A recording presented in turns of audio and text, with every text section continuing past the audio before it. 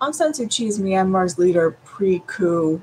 Um, was seen as a strong leader. A lot of people uh, felt that she wasn't a good politician, that she didn't see kind of the knives at her back, that she wasn't great at, at um, managing the military, managing ethnic leaders. I disagree. I actually think she was very good at managing the tense relationships that were um, kind of at the fore, managing what the military wanted, um, trying to um, um, figure out the best path forward so that she could, in what would be this this second term of hers pre-coup, um, figure out a way to ratify the Constitution and to enact a number of uh, changes that would also allow for a more kind of federal society.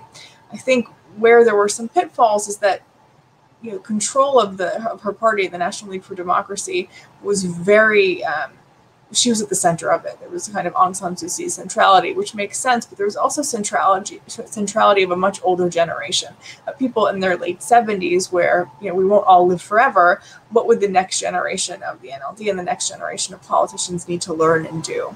Similarly, there were some thoughts that ahead of this election that. Um, the NLD wouldn't sweep in the way that they did, and that there would be the need for a coalition government with a number of the ethnic groups. Um, that didn't happen and she was able to to centralize uh, power under the NLD.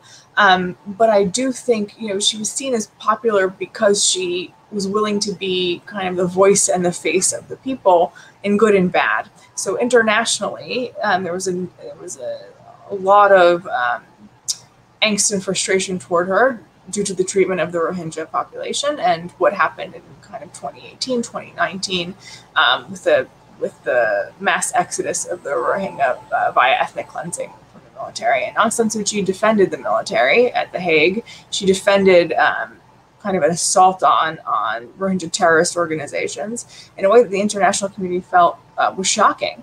But from a, uh, a, Myanmar local policy perspective, it's not surprising actually, and it is something that a populist leader of Myanmar could seek to do. Um, so I think that she she was a very apt politician. I think that she.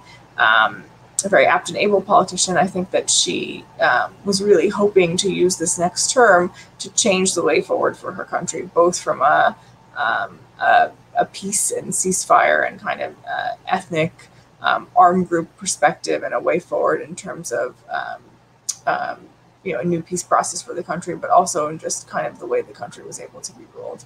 And unfortunately, she wasn't able to to see that forward.